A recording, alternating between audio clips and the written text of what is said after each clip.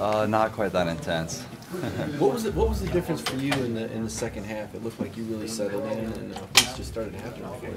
Yeah, I think uh, we just started executing. Um, you know, I think our timing was a little off um, to start the game.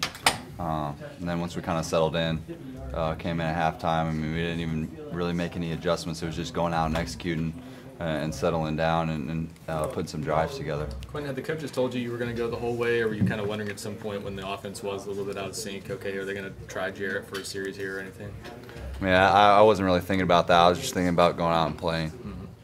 Coach, I guess for, for the passing game to get a little bit sharper as the game progressed, even though Jauan wasn't out there, how much faith do you have in some of those other guys? Because, you know, you go into the game without Josh, and, and then, you know, Jauan drops a couple passes early, then Jauan leaves the game. Why was the confidence still high at that point?